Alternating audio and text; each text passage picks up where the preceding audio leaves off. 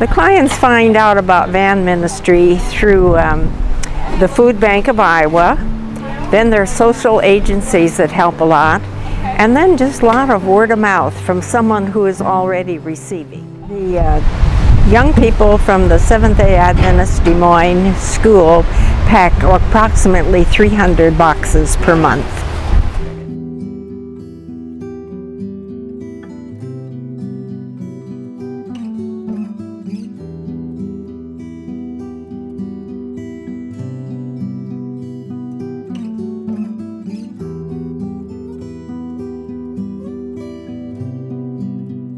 Each month, a family gets a food box that consists of canned vegetables and fruits and dried products of 50 pounds.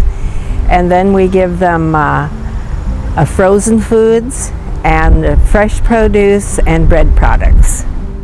Our dear Heavenly Father, we come to you this morning to thank you for this beautiful morning.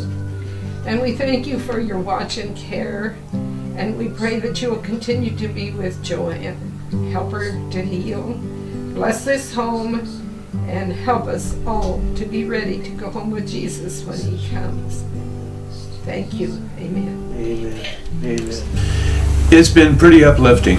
Um, when we're a lot of times we'll we'll be feeling down when they when they come, and then uh, you know we pray before we leave, and and uh, um, it always lifts our spirits we just just enjoy having them here.